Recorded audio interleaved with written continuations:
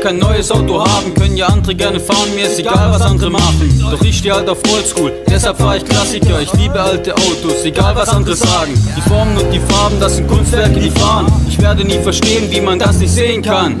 Ist ja auch egal, jedem sein Ding. Doch weil ich alte Autos fahr, werd ich heute schon beschimpft. Mein Oldtimer macht vielleicht mehr Dreckpartikel, doch dein E-Auto ist nur ein Wegwerfartikel. Nicht gerade nachhaltig, was ihr da so macht. Wenn ihr jedes Jahr ein neues Plastikauto fahrt.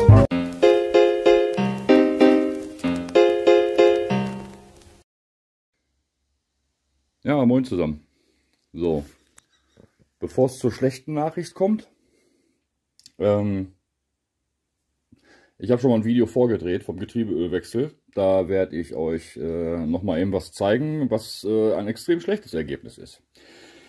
So, dann hat der Motor noch ein paar andere Probleme. Und zwar, bei VW ganz gut bekannt, bei diesen äh, Plastik-Thermostatgehäusen. Äh, die Thermostate hängen ganz gerne. So, jetzt haben wir ein Gesamtproblem. Der Wagen wird nicht warm. Ja? Wenn eure Autos nicht warm werden, haben die äh, ein weit größeres Problem, als dass ihr im Innenraum friert. So, äh, diese Motoren haben Temperatursensoren. Ne? Das bedeutet, der Wagen läuft ähm, überdurchschnittlich lange in der Anfettung für den Kaltstart. Bedeutet auf der anderen Seite, da er das ja eigentlich nicht braucht, ihr versaut euch den Katalysator. Ne? Daran ist der Katalysator hier gestorben. Der rasselt wirklich, kein Scherz, der ist kaputt. Ne? Dazu kommt noch der nächste Mangel, dass äh, die hintere Diagnosesonde auch nur noch äh, Quatsch anzeigt. Tja, schwierige Sache. Also wie gesagt, also die äh, Mängel sind vielfältig an dem Auto. Wirklich vielfältig. Ich habe erst gedacht, das sind Fehlzündungen. Ich habe die äh, Zündkabel kontrolliert und geguckt, ob irgendwo Funken rauskommen. Nein, kommt nichts, sind keine Fehlzündungen. Es war haftig äh, die Tatsache, dass dieser Motor hier äh, ständig überfettet läuft. Der Wagen braucht im Stillstand nicht wahnsinnig lange, um warm zu werden, aber wenn du fährst, sinkt die Temperatur sofort ab. Ja, du hast ja bei so einem Motor zwei Kreisläufe in der Kühlung. Ich versuche das mal zu erklären. Ähm, hier oben sehen wir die Heizungsschläuche. Ne? Die gehen in den Innenraum.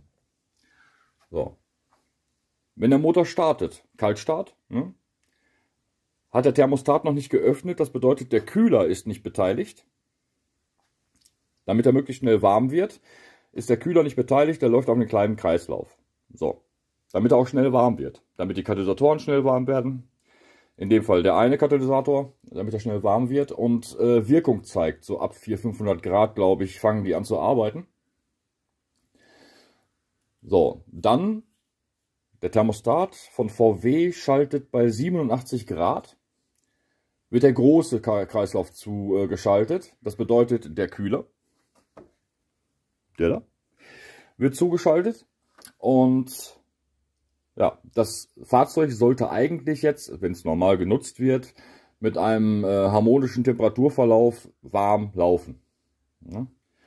Das ist äh, im Allgemeinen das Ziel der ganzen Geschichte läuft er nur auf dem großen äh, äh, Kreislauf, schafft es der Motor nicht warm zu werden. Gerade im Winter. Das bedeutet Kondenswasser. Das bedeutet äh, die ganze Zeit Anfettung, obwohl die, äh, die Brennräume schon warm sind. Ne? Das bedeutet ähm, Verschleiß. Ne? Deswegen habe ich noch schnell Kühlmittelthermostat und ein Thermoschalter. Den kann man mal austauschen, ne? Kühlmitteltemperatursensor. Noch bestellt. Und äh, ja. ja. Kostet Apfel und Ei, ne? Hatte sowieso eine Retour von dem Auto, weil ich was falsch bestellt habe. Das war quasi mehr oder weniger kostenlos. ja, Gut, dann wollen wir den äh, Thermostaten gleich noch wechseln. Dann wollen wir mal gucken, ob der warm bleibt. beziehungsweise warm wird. Der wird wirklich nicht warm. Selbst bei den Temperaturen. Wir haben jetzt so 17, 18 Grad gerade draußen. Und äh, der kommt nicht über ein Viertel der Temperaturanzeige äh, raus. Ja. Ausgelesen. Das gleiche in grün. Der wird nicht warm während der Fahrt. Und äh, ja, die hintere Lambda-Sonde ist auch tot. Ja. Jetzt davon auszugehen, okay, die hintere Lambda-Sonde spinnt, weil äh, der Motor nicht warm wird. Ja, davon kann man ausgehen, hat VW auch öfter mal. In diesem Fall zeigt sie aber einen elektrischen Fehler und das zeige ich euch gleich mal eben. So, der Wagen läuft jetzt schon eine ganze Zeit lang. Wie man sieht, so viertelwarm gerade mal. So, und jetzt haben wir hier wir halten mal bei 2000 Umdrehungen.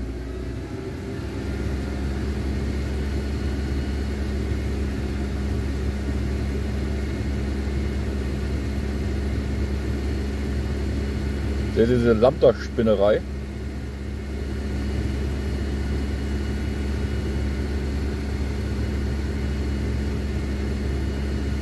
mach das mal deutlicher.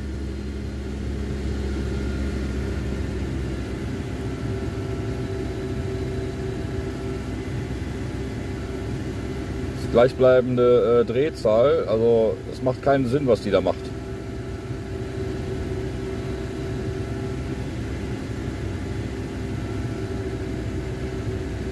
Hm, jetzt nochmal. Eure Werkstatt euch sagt, wir haben ausgelesen, wir haben keine Fehler gefunden, das Auto ist in Ordnung, das ist Blödsinn. Das Auto hier fährt auch, hat auch keine großartigen Fehlermeldungen. Manchmal allerdings schon.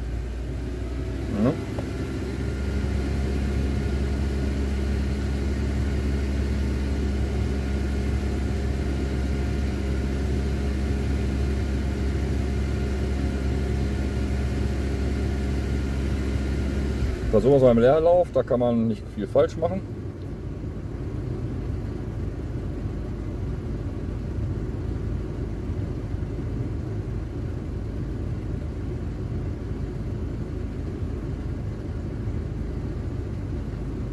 Ihr seht oben auch noch den Wert, wie er am Springen ist.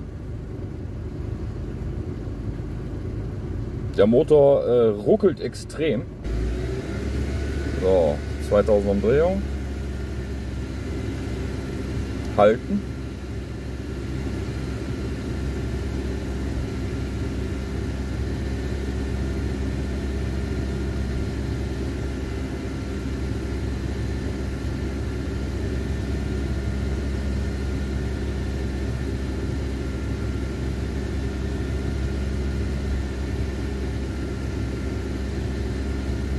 Und es hört sich zwischendurch immer an, als ob er Fehlzündungen hat. Er hat keine gemeldet, ist ein Euro 4 Motor. Er meldet ja für Fehlzündungen, wenn er welche erkennt. Aber hat irgendwie Aussetzer.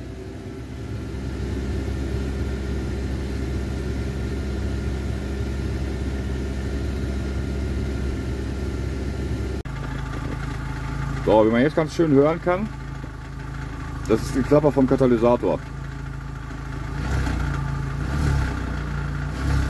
Ne, der Monolith ist komplett in den Fritten. Da sieht man es so.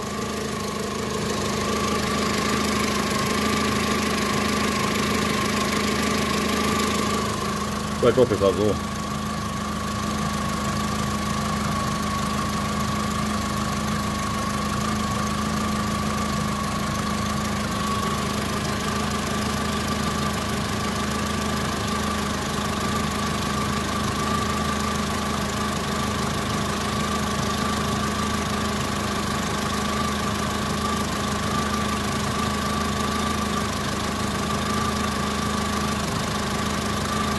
Hört man, oder?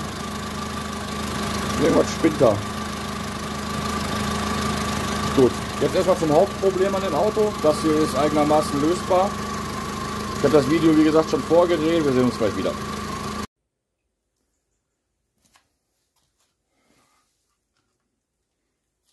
So, wie wir alle wissen, machen wir an dem äh, Golf auch einen Getriebeölwechsel. Äh, Nochmal eben kurz zeigen. Äh, der Wagen ist von 2002, meine ich. Und äh, mal, ich guck noch mal eben.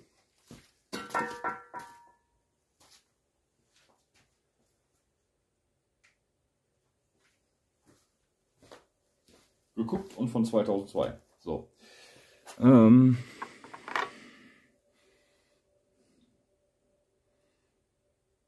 Elfter, äh, nee, 1. Februar 2002.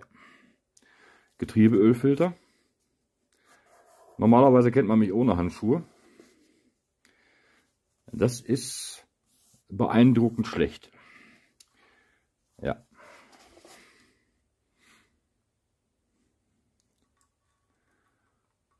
Ja, das Öl habe ich euch schon mal gezeigt. Übel. So, jetzt haben wir hier die Ölwanne. Und jetzt kommt es richtig übel.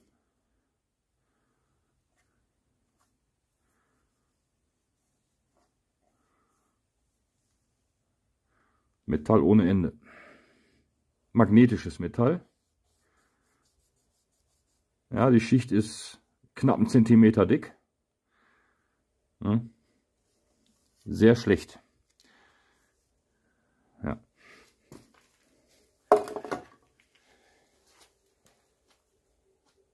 Den lassen wir auch bis morgen ausbluten. Kommt jetzt das nächste.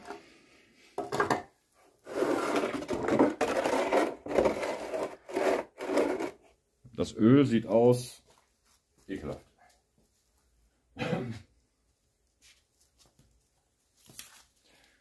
So, hier haben wir wieder unseren Magneten. Sauber, ne? Mal gucken. Die Schüssel ist natürlich vorher sauber gemacht worden. Es fühlt sich extrem sandig an, das Öl.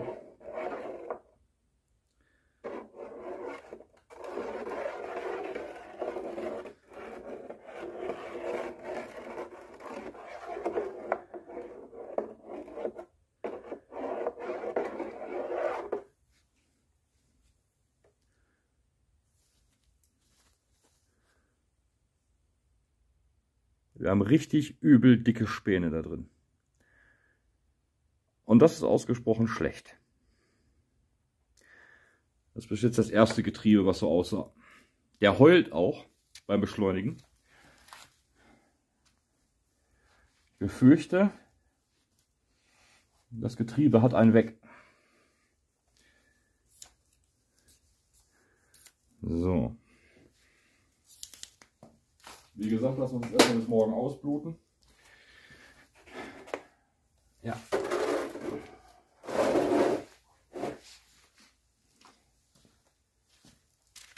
Ist kein guter Zustand, muss ich sagen. Kein guter Zustand. Arg, aber so gar nicht. Ne? Also wenn ich da so richtig, so über einen Millimeter dicke äh, Späne aus dem Getriebe hole, ist das ausgesprochen schlecht. Ja, erster Filter. Zu Deutsch ist noch nie was passiert. Der starke 2 Liter Motor und äh, das Automatikgetriebe ohne Ölwechsel. Ich befürchte, da ist irgendwas kaputt gegangen. Deswegen heult der. Maßnahme. Ich mache den Getriebeölwechsel, nachdem der morgen komplett ausgetropft ist. Dann äh, werde ich ihn nicht überspülen. Ganz im Gegenteil, äh, nochmal Filterwechsel, also Öl- und Filterwechsel in ziemlich genau 500 Kilometern. Dann sehen wir weiter. Ja, blöd gelaufen mit den Spänen, aber naja, ist passiert. Und zwar ist es die Parksperre. Ja? Die Parksperre beim Automatikgetriebe ist keine Bremse. Jetzt nochmal. Ich sage das gerne noch ein paar Mal in meinen Videos. Die Parksperre des Automatikgetriebes ist keine Bremse.